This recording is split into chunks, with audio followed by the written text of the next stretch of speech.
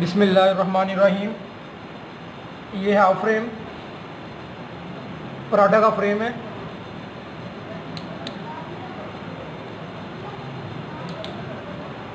इसमें हम shear are video cut के शीशे लगाएँगे।